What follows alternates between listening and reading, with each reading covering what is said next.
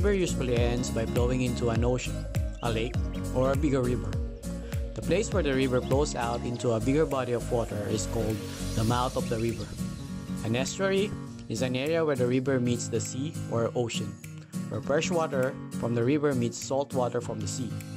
When river water meets seawater, the lighter fresh water rises up and over the denser salt water. Seawater noses into the estuary beneath the outflowing river water, pushing its way upstream along the bottom. When fresh water and salt water meets in an estuary, they do not always mix very readily, because fresh water flowing into the estuary is less salty and less dense than the water from the ocean. Area is the mouth of the Caboolture River. The Caboolture River is a small coastal river that runs into Deception Bay and the northern end of Moreton Bay. The total catchment area is 728 square kilometer.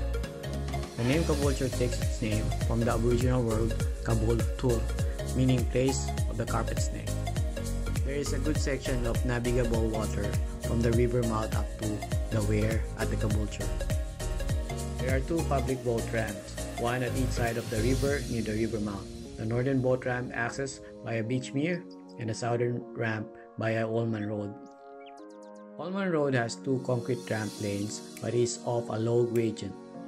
Can be hard to launch without getting your car wet. Limited parking available on side of the access road. While not renowned as a great fishery, the Caboolture River can and does produce bass, tarpon, bream, blackhead, mullet on a regular basis with mangrove jack showing up in the summer months. Explore the Caboolture Estuary in the air